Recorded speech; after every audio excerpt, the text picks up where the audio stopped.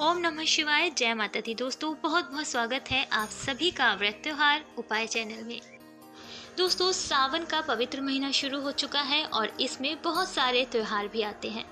इसमें सबसे खास होता है हरियाली तीज का त्यौहार, जो कि सभी सुहागिन महिलाएँ बहुत ही उत्साह के साथ मनाती हैं। हरियाली तीज के त्योहार पर सभी सुहागिन महिलाएँ अपने पति की लंबी उम्र और सुख सौभाग्य की कामना करती हैं और व्रत रखती हैं। यह व्रत निर्जला रखा जाता है। इसलिए इस व्रत को काफ़ी कठिन भी माना गया है। लेकिन कुछ जगहों पर व्रत न रखकर सुहागिन महिलाएँ, माता पार्वती और भगवान शिव से अपने पति की लंबी उम्र की कामना करती हैं, उनके सुखी जीवन की भी कामना करती हैं। साथ ही सोलह श्रृंगार करती हैं, सजती हैं, संवरती हैं और इस दिन झूला झूलने की भी रस्म होती है तो महिलाएँ झूला भी झूलती हैं। इस वर्ष हरियाली तीज का त्योहार 31 जुलाई दिन रविवार को मनाया जाएगा। दोस्तों, हरियाली तीज के दिन।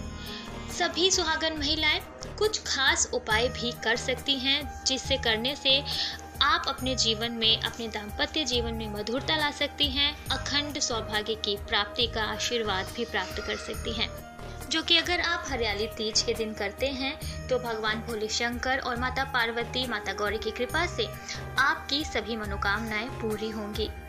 इन उपायों को बहुत ध्यान से सुनिएगा, बीच में से वीडियो को स्किप बिल्कुल ना करें। अगर आप इन उपायों को करती हैं तो आपको अखंड सौभाग्य की प्राप्ति होगी, आपकी सभी मनोकामना पूरी होगी। वीडियो को आगे बढ़ाने से पहले आप जल्दी से चैनल को सब्सक्राइब कर लें और बेल आइकन को भी टच कर दें आगे वीडियोस के नोटिफिकेशन पाने के लिए।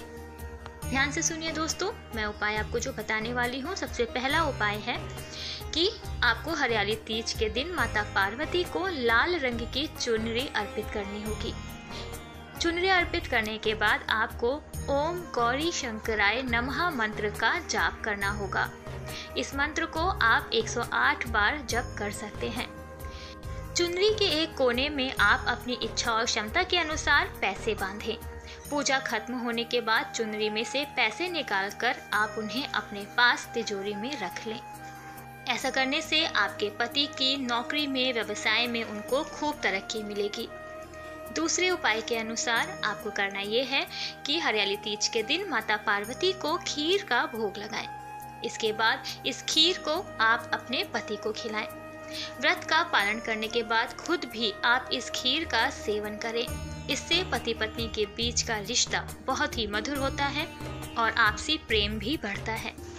तीसरे उपाय के अनुसार, आप इस दिन पूजा संपन्न करने के बाद पाँच बुज़ुर्ग सुहागिन महिलाओं को साड़ी और बिछिया का दान करें और उनसे आशीर्वाद भी लें। साथ ही पति के पाँव छूकर भी उनका आशीर्वाद ज़रूर लें। ऐसा करने से आपके सुहाग की उम्र लंबी होगी। चौथे उपाय के अनुसार जिन महिलाओं के विवाह में बाधा आ रही है, उन्हें इस दिन विधि विधान से यह व्रत करना चाहिए। और ऐसी मान्यता भी है कि हरितालिका तीज के दिन व्रत और विधिवत पूजन करने से सभी मुरादें पूरी होती हैं। इस व्रत को करने से आपका विवाह भी शीघ्र होगा। पाँचवें उपाय के अनुसार हरतालिका तीज के दिन आप पति के हाथ से अपने मांग में सिंदूर भरवाएँ। इससे आपके और आपके पति के बीच का रिश्ता मज़बूत बनता है दाम्पत्य जीवन में आपसी प्रेम भी बढ़ेगा।